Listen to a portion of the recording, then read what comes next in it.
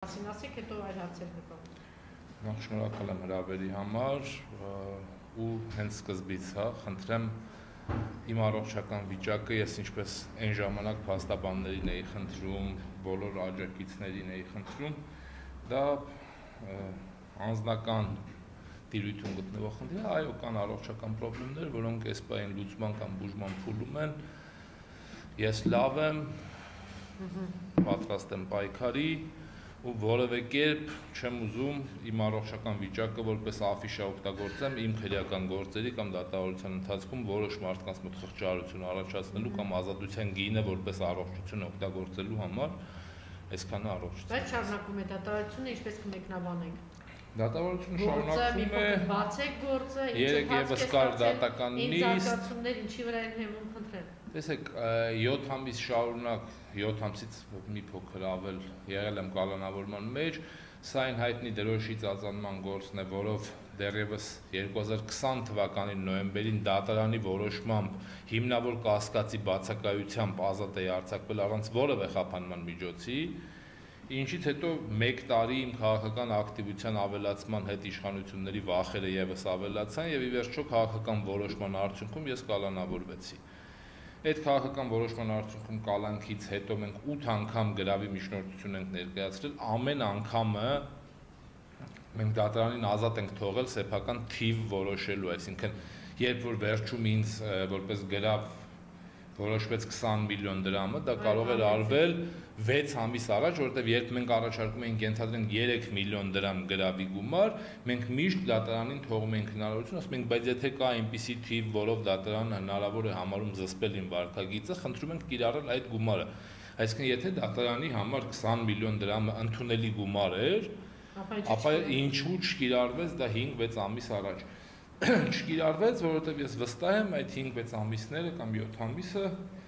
օգտագործվել են որպես մահակ քաղաքական իշխանությունների կողմից իմ վարկագիծը զսպելու կամ ինձ փորձելու ընկճել կամ պայքարից հետ պահել, ինչը կարծում եմ նաև իրենք համոզվեցին, որ ապարդյուն է ու անշնորհակալ գործ։ Այլ բնույթի, հա, ասե դու քաղաքական պայքար շարունակելու եք, թե ոչ։ Ես բանտից դուրս գալուց անմիջապես 10 վայրկյան հետո հայտարարել եմ, որ բնականաբար շարունակելու եմ, իմ տեսակն այնպեսին է, որ ես կոտրվելը չգիտեմ ինչ է, նահանջելը չգիտեմ ինչ է, մասնակցել եմ վերջին հանրահավաքին, այդ թվում ելույթ եմ ունեցել, պայքարը բնականաբար շարունակում, որովհետև ես այս պայքարին դուք տվեցիք քաղաքական պայքար, հա, ես այս պայքարը վաղուց դադարել եմ համար քաղաքական լինել, երբ նժարի վրա հայրենիքն է, հայրենիք ունենալ, չունենալն է, պետություն ունենալ, չունենալն է, երբ ամեն վարքյան մեր սահմանների մոտ կա վտանգ, մեր ժողովրդի գլխին կախված է վտանգ, չպայքարելը անկախ դրա քաղաքական բնույթ ունենալ չունենալուց դա տեսակների խնդիր է ես չեմ կարող իմ տան վտանգի դեմ չպայքարել կամ չփորձել իմ տունը անվտանգ պահել ինչպես հաջողվեց այս իշխանությանը մեծաշվետ վտանգի զգացողությունը շատ շատերի մոտ չեզոքացնել եւ այլ հրամայականներ իջեցնել եւ համոզել մարդկանց, որ պատերազմը իրականում պատերազմ է, պատերազմ ենք բերել, պատերազմը շարունակվում է, հրանցնում է մեզ նաև որ պատերազմ լինելու է, որովհետև լեգիտիմ հիմքերը Ալիևը ունի, ես բառացի մեջ վերում եմ անում Նիկոլից, բայց մարդկանց խափել, որ այդ ամենով հանդերձ սա խաղաղություն է։ Խաղաղության գինը, այսպես ասած, բանը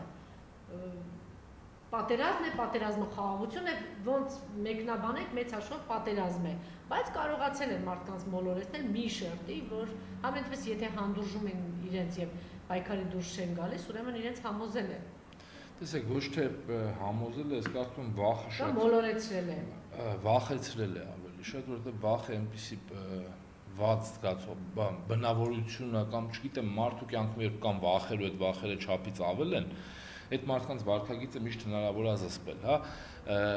Պատերազմը երբ որ հրահրվեց, պատերազմի արդյունքում այդքան զոհեր, կորուստներ, պարտված կողմ եւ այլն ու շարունակաբար մենք մեզ ներսում Նարեկ Մարտաշյանը նաև 44-օրյա պատերազմին կամավորվել եւ անցել է 44-օրյա պատերազմում։ Երբ մեր ժողովրդին հրամցվեց, որ մենք թույլ ենք, մենք խեղճ ենք, մենք պարտավոր ենք մեզ խփող ձեռքը համբուրել, որպեսզի հաջորդ հարվածը չուտենք, ի վերջո պետք է հաշվի նստենք այն փաստի հետ, որ այո, մեր ժողովրդի մի ստվար զանգված ասեց ես worth-ի չունեմ տալու հայրենիքի համար ի վերջո եկած օրվանից այս իշխանությունները մեր մեջից փորձեցին հատիկ հատիկ, այսպես հանեցին բոլոր այն գաղափարները, որոնց հիմքի վրա այս ազգն ու հասարակությունը դարեր շարունակ գոյատևել է։ դա թույլաtsվեց բանակը, բանակի գաղափարը, հայրենասիրական գաղափարները, եկեղեցի, բոլոր այն բաները, ինչ հենասյուները, ինչի վրա ազգային ոգին գոյատևել է, այն ինչի հաշվին մենք դարեր շարունակ կարողացել ենք պետություն ունենալ պահպանվել որպես ազգ, հատիկ առ հատիկ մեր հասարակության մեջից հանվեցին, դարձավ վախն ու որգրամոլությունը որպես հրճակված արժեքներ, այս բանը ասում են, եթե ուզում ես ապակ Օրինակ, եթե ուզում ես լավ ապրես, դու պետքա Թուրքին հնազանդ ապրես, Թուրքի սահմանը բացվի, Թուրքը գա քո երկրի մեջ ինչ ուզում անի, բայց դու դրա հաշվին օրինակ 30% ավելի լավ կապրես, ու մոտավորապես 60% ընտրությունների արդյունքում, որը իհարկե կան որոշակի ուռճացված թվեր, կեղծիքներ եւ այլն, բայց ամեն դեպքում գոնե մեկ մարդ չպետք է այդ գաղափարի շուրջ գնալ ձայն տալ, բայց մենք տեսել ենք, որ մարդիկ գնացել են ընտրության, ու այո այդ բան ճակերտավոր խաղաղասիրություն կոչվածին ձայն են տվել, որը ի վերջո Հայաստանը թուրքական վիլա է դարձնելու ճանապարհն է։ Հիմա այս ճանապարհի մեջ մարդիկ ինչ վախերով են։ Տեսեք, հենց երեք մենք ունեցանք Արցախի սահմանների վրա ոտնձգություններ։ Ինչ ինչ նպատակ էր հետապնդում, հա? Առաջինը Ադրբեջանը պահանջ էր դրել, որպեսզի հայկական Հայաստանից գնացած որևէ զինվոր այլևս չպետք է լինի Արցախում։ Ի վերջո մենք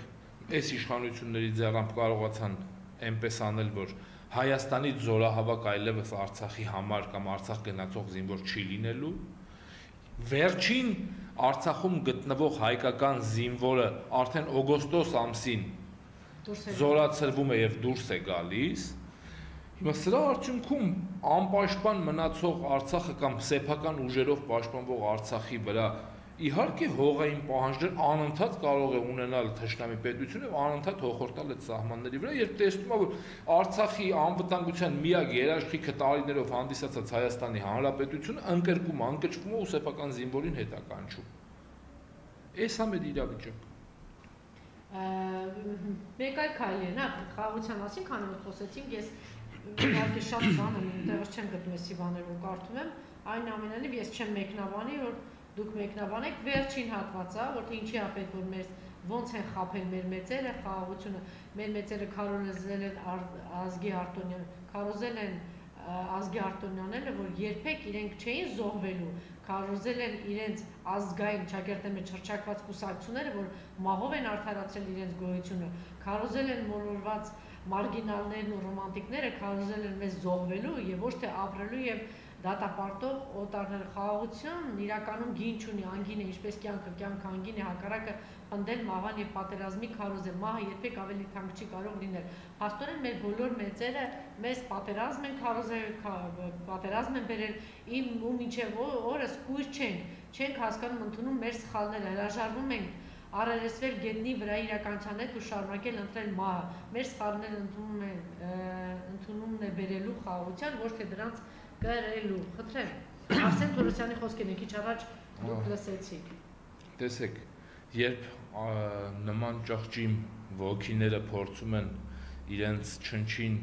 գոյությամբ ձեռնոց նետել ազգի մեծերին ու նրանց սխրանքներին, ի վերջո հենց այդ նախադասությունների մեջ ազգի մեծեր կոչվածները այո հենց այդ մեռնելով են դարձել ազգի մեծ ոչ թե ապրելով ի վերջո բոլորը մեռնում են բոլորը բացի նրանցից ովքեր ազգի ու պետության համար են մեռել նրանք են շարունակում ապրել։ Դե միջև վերջին կետը չի բայկարել Անդրանիկը չի։ Բոլոր նրանք ովքեր զոհվել են ազգի համար, միայն նրանք չեն մեռնում ես այդ համոզմունքն ունեմ։ Բայց իրանք չեն քարոզել, է զոհել, իրանք քարոզել են ազատություն պայքար։ Բոլոր նրանք քարոզել են կռվել։ Իրանք պայքար ու հայրենիք այն մի կտորը, որ հիմա փոխանցվել է, այդ դրա շնորհիվ է, որ մենք Հիմա եթե այս մարտիկ պետքա մեզ փորձեն համոզել, որ ապրել հանուն ոչնչի ավելի կարևոր է, քան մեռնել հանուն հայրենիքի, ապա չարաչար սխալվում եմ, ես վստահ եմ, որ մեր մեջ, մեր ազգի մեջ շարունակում է ապրել ու մեծանալ սերունդ, այդ թվում այո մեծանալ, որովհետև ես նույնիսկ իմ ворթու տարիքակիցների մեջ եմ տեսնում երեխաների, ովքեր Հայաստանի դրոշն ու հայկական պետականությունը իրենց կյանքից այո ավելի են արժևորում։ Ու ես ուրախ եմ ու հպարտ եմ, որ նման սերունդ է Հայաստանում դաստիարակվում։ Միգուցե այս պայն նրանք ավելի քիչ են, միգուցե այդ արժե։ Իսկ ով ասել, որ այդ լավ ոսկե հատիկը պետք է ավելի շատ լինի, քան ավազի հատիկները, որոնք այսօր ազգային ժողովում են իդեմս քպեականների։ Շատ լավ, տեսեք, ոտնձգությունները, բռնությունները, բռնաճնշումները շարունակվում են։ Ես քիչ առաջ էլ ընթերցեցի Արթուր Համբարձումյանին, հա, հրավիրեն Արմեն Գրիգորյանի գործով, աստորեն այսպես այնպես ստացվեց, այնպես են մարսում պատերազմը հրահրել, պատերազմը սկսել, գլխավոր հրամանատար հրճակվել, տանել այս պարտության եւ այսքան զոհել եւ հետո մի հատ էլ իրենք մնան իշխանության եւ իրենք են պատերազմով անցած մարդկանց ձերբակալել, քրեական գործեր արուցել։ Հիմա նույնն է, այս ամեն ինչը անել են մարդիկ, որ իրենց քննադատում են, մի հատ էլ թույլ չտալ ընդհանրապես։ Հիմա արդեն անցել են այս շապը, հիմա սա տարածվում է նաեւ Արթուր Համբարձումյանի վրա, ինչպես ձեր վրա, այդպես էլ նաև Արթուր Համբարձումյանի, խնդրեմ։ Փառք Տիրոջը, որ այս մարդիկ գոնե ձերբակալություններով են դեռևս ճակերտավոր բավարարում, որովհետև Արմեն Գրիգորյանի մահը եւս պետք է մնա այս իշխանությունների ու այս իշխանությունների ձեռամբ կատարված սպանությունը ես գնահատում Այդպեսի նմանատիպ բան էլ ասել էր Արթուր Համբարձումյանը, թերևս հենց դրա համար էլ կանչել էին։ Եվ քանի այս իշխանությունները շարունակում են մնալ Հայաստանում իշխանություններ, մենք քաղաքական բանտարկություններից, քաղաքական terrorից, սպանություններից, նաև մեծամասշտաբ պատերազմի վտանգներից, սահմանում զոհերից երբեք չենք կարողանալու ձերբազատվել, քանի որ այսպեսի մի հին բան կա, ասույթ կամ չգիտեմ բառը ոնց ասեմ, բայց երբ քո հետևից վազում են գայլերը, դու որքան շատ փորձես կերակրել, նրանք անընդհատ քո հետևից գալու են։ Դու անընդհատ ինչ որ բան ես տալիս նրանց, բայց նրանք երբեք չեն բավարարում, անընդհատ գալիս են։ Մինչև դու չպտտվես գայլի դիմաց, կռիվ չանես, ցույց չտաս քո պայքարի ոգին, երբեք չի կշտանալու։ Ինքը անընդհատ ձերքը տաս ոտը տա ուզելու ոտը տա։ Անընդհատ գալու է։ Իհարկե, այդ եմ ասում, քո մարմնի մաստիկները հատ-հատ դու իրան տալու ես, որ քեզանից այնքան ինքը հերո մնա, ինքը երբեք հերո չի մնալու, ինքը անընդհատ քանի դու տալիս ես, անընդհատ վերցնողը գտնվելու է մինչև մենք ատամ ցույց չտանք, մինչև մենք մեր մեջ կողած ցույց չտանք, որ պատրաստ ենք մենք մեր ամեն քառակուսի սանտիմետրի համար արուն թափելու, մենք պատրաստ ենք կռվելու, որովհետև ի վերջո կռիվը ինչ է նշանակում։ Կռիվ նշանակում որ ինչքան դու ունես կորուստ, այդքան դիմացին հետ պետք է ունենա։ Եթե նույնիսկ ինքը անհամեմատ էսպային քեզանից ուժեղա, չգիտեմ, իրանք ասում էին ՆԱՏՕ-ի երկրորդ զորք 1 մյուս եւ այլն, բայց ունեին կորուստներ։ Իսկ այդ կորուստները իրանց պետությունների համար եւս կորուստներ են, իր ընտանիքի զավակներ են զոհվում եւ այլ եւ այլն, այսինքն մինչև դու այդ պայքարի ոգին ցույց չտաս, որևէ մեկը հագուրտ չի տալու իր պահանջներին, որևէ մեկը չի ասելու դե լավ մեղք են, արի թողենք հայերը ապրեն։ Ի վերջո այս 100 ամյակներով այս թուրքական երկու պետությունների ուզած միակ բանը Հայաստանն առանց հայերի կամ առհասարակ Հայաստանի գոյությունը քարտեզի վրայից ջնջելն է։ Հիմա ի՞նչ է փոխվել։ Ոչ մի բան էլ չի փոխվել։ Բարեկամություն են ուզում, իհարկե չեն ուզում։ Ուզում են մեզ կզած տեսնել, չեն տեսնելու։ Ինչքան էլ որ այս իշխանությունները տանեն դրան, ստիպեն մեզ։ Ի վերջո մենք եւ ներքին եւ արտաքին Թուրքի դեմ ծնված ենք պայքարելու համար ու այդ պայքարը պարտադիր հաղթական ավարտ ունենա։ Հիմա ցույց են տալիս, գիտեք, որ քանի օր աղմուկ է, ցույց են տալիս, որ Թուրքից հատկապես ՀԵԴ կուսակցական անդամները գան Հայաստան, այն մարդիկ, ովքեր որ քննադատել են կամ պայքարում են հա դրսում իր դեմ, նրանց թվում է առաջինը ՀԵԴ բյուրոյի անդամ Ֆրանսիայի հայկական կազմակերպությունների համակարգող խորհրդի համանախագահ Մուրադ Փափազյանը քիչ առաջ գրել է, որ մենք հիմա երեքն են, որոնց արգելում են մուտք գործել Հայաստան, Սունե Աբրահամյանը, Մասիս Աբրահամյանի հետ մենք Հայաստանը, Արցախի եւ հայ դատի 3 պաշտոնյաների Նիկոլ Փաշինյանը Հայաստանը վերածում է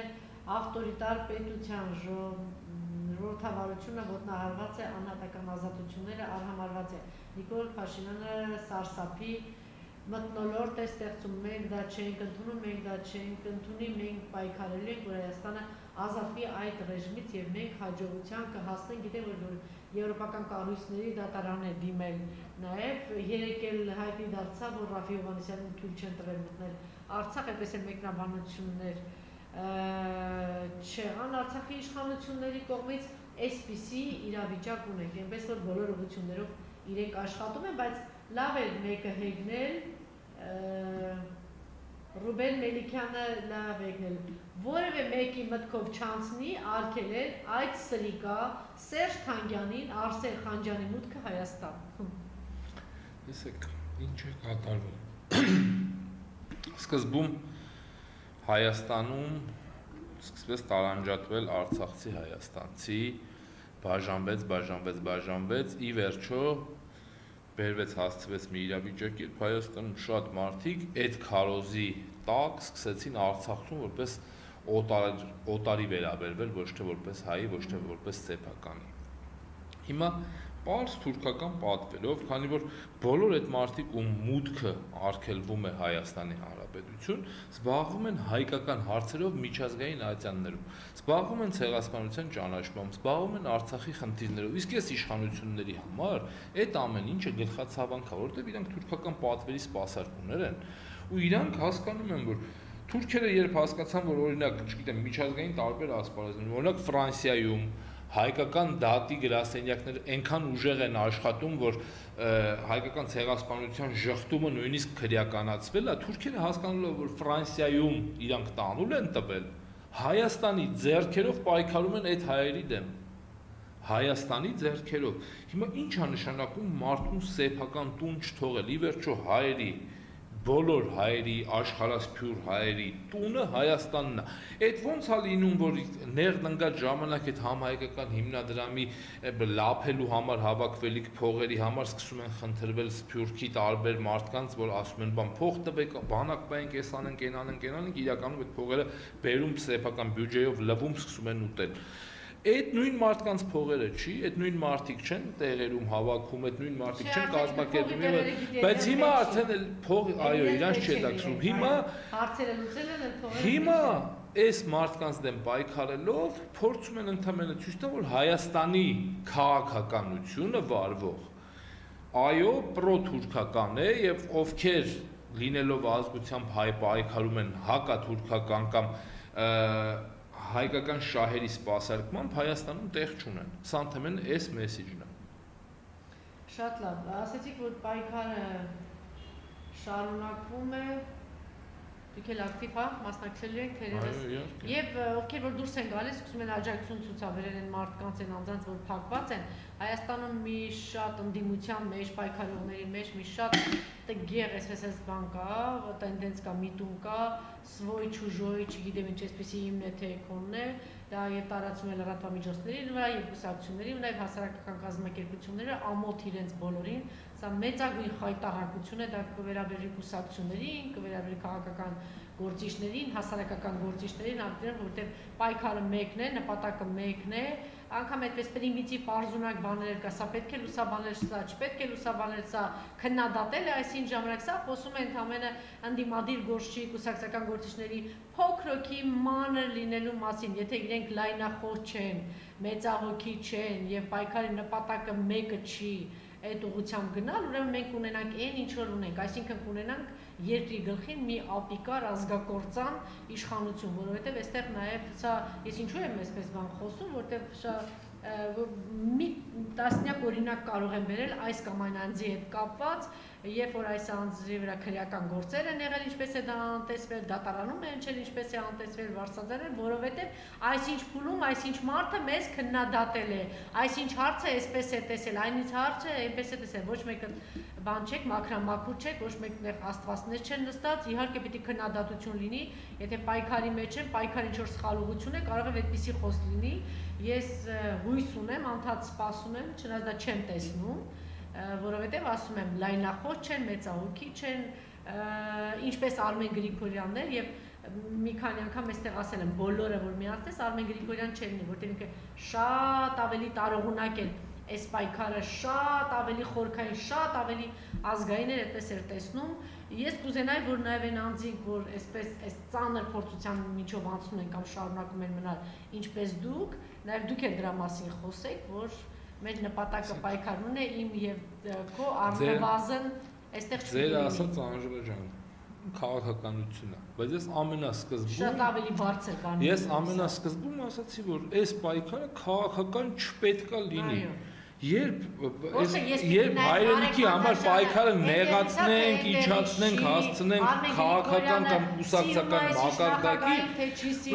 ես թույլ տվեք որևէ մեկի գործողությունները կամ մտքերը չմեկնաբանեմ, ես կասեմ իմ սեփականը բոլոր այս տղերքի իմ ընկերներն են իրանց բոլորի պայքարը ազնիվ է ես բոլորինն եմ բոլորն իմն են ցանկացած այն քաղաքացին ով իր տնից դուրս կգա նույնիսկ չի միանա այս ընդհանուր պայքարին այլ կգնա առանձին ինչ որտեղ կանգնի մենակով կգոռա Հայաստան ես կգնամ իր կողքը կանգնեմ անկախ նրանից այդ քաղաքացին դրանից 10 օր առաջ նույնիսկ իմ անձի հասցեին ինչ ասած կլինի որովհետև ես կրկնում եմ Իմ նպատակը մեկն է, Հայաստանը չի թուրքացվելու, Արցախն էլ մնալու է հայկական։ Ես այս գաղափարի համար եմ պայքարում։ Եթե ես այս գաղափարը ասես փոքրացնեմ, դարձնեմ կուսակցությունների, անձերի միջև պաշտոններ կիսելու աթոռի, ես իմ ինչի ցանկացած ուրիշ բանի մակարդակի պետք է ես ահագին իջացնեմ այդ բան պլանկան, հա? Ես դրան պատրաստ չեմ։ Ես կրկնում եմ, բոլորը այս նկարներում իդեպ ձեզ շնորհակալ եմ տևական ժամանակ նաև իմ ողջ կալանքի ընթացքում իմ նկարը այստեղ պահելու համար, այդ վերաբերմունքի համար ու ասում եմ ես պատրաստ եմ տղերքից յուրաքանչյուրի համար յուրաքանչյուրի կողք կանգնել, պայքարել, գոռալ, կռվել, բոլորին ազատություն եմ մաղթում ու այս պայքարը Եթե համարցակեն Համբարձումյանի վրա ինչպես ինքն է ասում գործ կարել, մենք բոլորս պիտի իր կողքը կանգնենք, էլի չմտածենք, որ քանի որ Արթուր Համբարձումյանը այս ինչ փուլում քննադատել է, այս ինչին, էլ ինչ փուլում քննադատել, այդպես է լինում բսկտելը, առանձնացնել եւ մաս-մաս բոլորի հարցերը, առանձին առանձին բոլորի հարցերը Հայաստանում եթե փորձենք գտնել երկու այնպիսի մարդ, ովքեր երբեք իրար հետևից որևէ բան չեն խոսացել, ոչ լավը, ոչ վատը, դժվար է գտնել Հիմա մենք բոլորն էլ ունեն խոսալու հատկություն, այո, X փուլում եթե որոշակի քննադատությունները եղել են, միգուցե ճիշտ կլինի քննադատվող կողմը մի փոքր իր մեջ մանգա գտնի, թե ինչի համար են իրան քննադատել։ Կարող է տենց ավելի հեշտ լինի տանել այդ քննադատությունները որովհետև անսխալականներ չկան ու եթե քո սխալը քեզ մատնացույց անում ինչ որ մեկը դրանից չարժի այդ մարդուն որպես քո թշնամի վերաբերվել ամբողջ կյանքի ընթացքում ի վերջո այն գաղափարը ինչի շուրջ ձևավորվում է պայքարը պետք է հարթի բոլոր սուրանկյունները չպետք է լինեն իմական, քոնական, նրանցական կա գաղափար հայկական որովհետև նա այսինչի կողմն է նա այնտեղ գիտեք այդ այդ յուրաքանչյուր լրատվամիջոցի կամ քաղաքական ուժի որոշելիքն ով կնա ես էլի եմ ասում էլ ես որևէ մեկի փոխարեն թույլ տվեք չասեմ ինձ եթե ինչ որ մեկը կվերաբերվի սրանական նրանական ոչ նկարեք ոչ ցույց տվեք աննկատ թող մնամ, որևէ բանի տենց ամբիցիաներ ու խնդիրներ չունեմ, Հայաստանս ազատագրեք այս թրքական իշխանություններից ձեզ լինի ձեր լրատվականներն էլ ձեր ցույց տալն էլ մեկնաբանելն էլ մնացածն էլ Facebook-ս էլ կջնջեմ Շնորհակալություն։ Մնացեք մեզ հետ, քիչ անց մենք նորից կլինենք ուղիղ եթերում։ Իմ հյուրն էր քաղ Բանտարկյալ Նարեկ Մանթաշյանը, ով 7 ամիս շարունակ ապօրինաբար գտնվում էր կալանքի մեջ, այսպես խափանման միջոցն է դատավարությունը շարունակում է, ընդամենը փոխվել է խափանման միջոցը, մենք պետք է ուշադիր լինենք եւ այս անձանց նկատմամբ ում խափանման միջոցը փոխվել է, բայց դատավարությունները շարունակում են, այն անձանց նկատմամբ ում նկատմամբ նոր-նոր ուզում են գործեր կարել, ինչպես իրենք են ասում եւ այն անձանց նկատմամբ ում խափանման միջոցը ընտրվել է կալանքը։ Շնորհակալություն, պարոն Մանթաշյան, մնացեք մեզ հետ, մենք դեռ ուղիղ եթերում եմ, խնդրում եք րոպե սպասեք, մինչեւ անջատեն եւ կես ժամից նորից կլինենք ուղիղ եթերում հետևեք մեզ։